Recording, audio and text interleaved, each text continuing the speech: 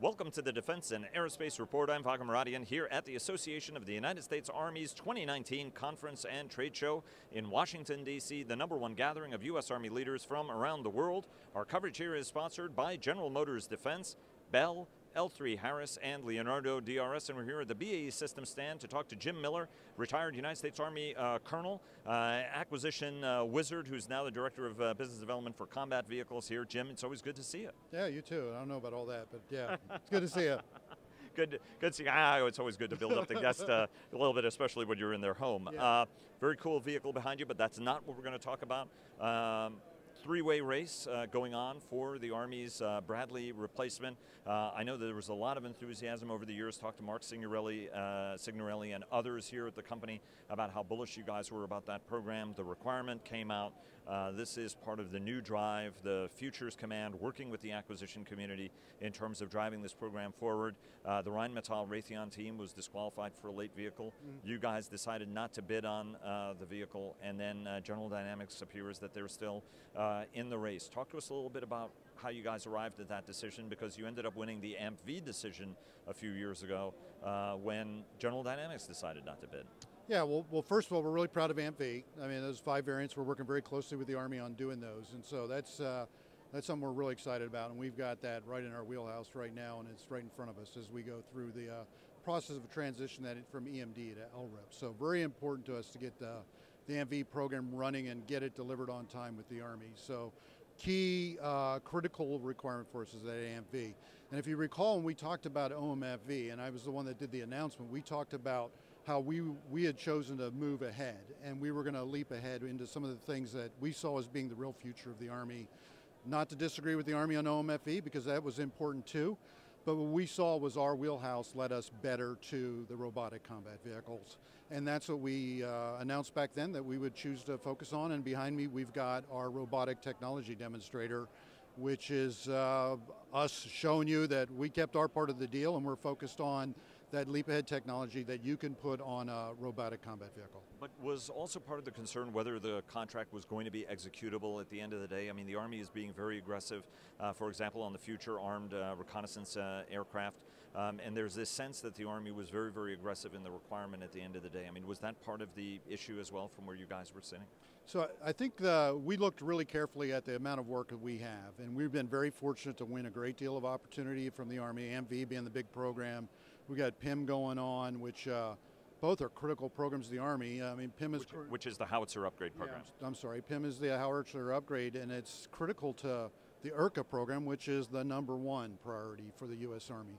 And so, clearly, we've got a lot going on. We've got to get after those key programs. Uh, AMP-V is a critical piece of next gen, so is MPF, and we have an MPF contract as well.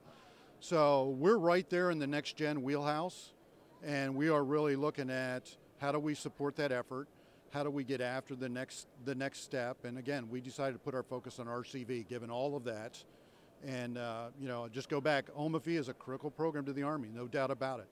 It wasn't what we wanted to do. It wasn't right for us. We've decided to support them with the three other pieces of next gen combat vehicle.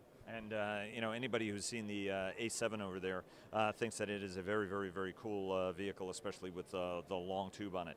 Let's talk a little bit about the vehicle behind you. Um, you guys have been working on uh, automated systems for quite a long time, actually, especially when it came to unmanned turrets and other systems that would go on the vehicle. Talk to us a little bit about what we're seeing behind yeah. you. So behind me we have the we call it the robotic technology demonstrator, and we described it best as a rolling lab. It's a, it's a vehicle that allows us to uh, experiment with, try new things, try new ideas, and see what those real leap ahead uh, technologies are. We're pretty excited about it because you know, we all see great value in removing risk from soldiers on the battlefield. And, but at the same time, we want to increase the lethality of the Army units that are out there. And things like uh, RCVs and RTDs, uh, this demonstrator that we built, um, really get us after that key critical skill, which back that soldier out of contact with the enemy, and but increase the overall lethality of those Army units. So the RTD behind me, the robotic technology demonstrator, is our attempt to create this rolling lab that allows us to run those experiments, looks at what works, what doesn't work.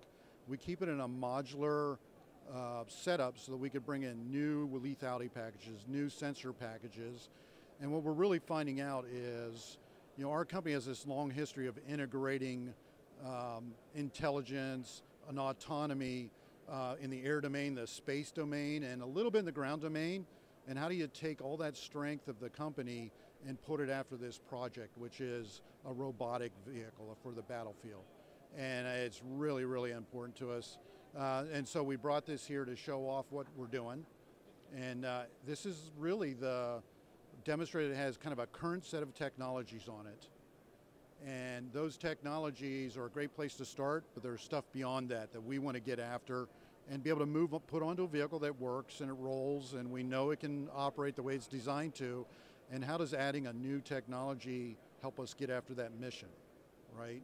And that's really critical for us. How do we get after that mission and what are those big leaps we get? And it might just be one new technology that gets added to it and how well you integrate it that matters. How, how far, uh, you know, autonomy is something everybody's been working at. Actually, there was a, uh, right, a, a, battlefield breacher or something that was the first fully sure. autonomous uh, evolution that was conducted recently, which was a very, very imp impressive piece of um, technology. Talk to us a little bit about how you guys are working the autonomy part of the problem. You guys have been involved in a lot of very sophisticated programs. You guys have been making a lot of investment on that uh, because I know you guys see that as a cross-cutting investment on the commercial side uh, of the business as well. But where are you, you know, how long, when, when senior leaders come and stop by and ask you how long before you can develop an autonomous vehicle, what do you, what do you, what do you tell them? Yeah, oh, it's, it's critical to kind of define autonomy too, right? So there's, uh, we still have a requirement to keep a person in the loop for the lethality thing. So there's always going to be that semi-autonomous thing in the lethality piece.